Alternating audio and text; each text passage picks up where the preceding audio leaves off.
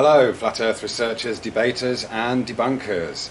I've got the camera like this because I'm going to focus on these spots of light on the ceiling here as a way to demonstrate how we can perceive what we might be looking at uh, when we observe the stars crossing the sky. Of course, the way we see the stars appear to uh, rotate or cross the sky, depending on where we are looking, uh, is used as some kind of proof that we are on a spinning globe. So we see the, the stars appear to circle around uh, a north pole and possibly a south pole when we look from different directions on a spherical Earth.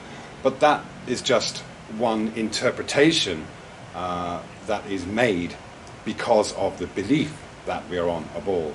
So I'm going to try and demonstrate how it's possible to uh, see or interpret what we see when we look at the stars as all the stars rotating together uh, while the Earth is stationary and level if the sun holds out and carries on creating these reflections. So the way I've set this up is to just use um, this uh, decorative lamp fixing to make the reflection onto the ceiling there.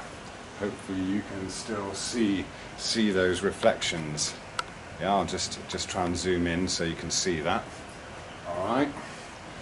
So what I'm going to do is just I'm going to turn that lamp fixing so that uh, these stars uh, move across the sky like this, move across the ceiling. So they're going to move from left to right from this point of view. So I'll, I'll just do that now.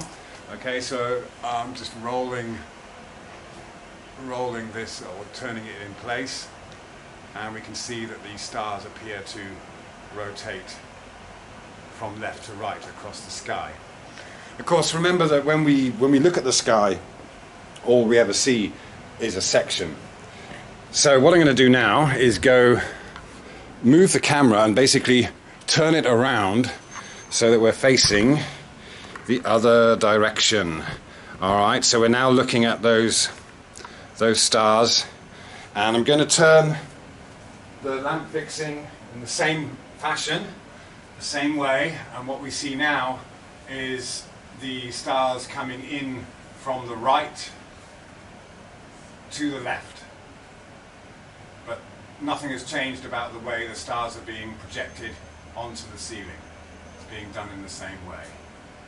Yeah?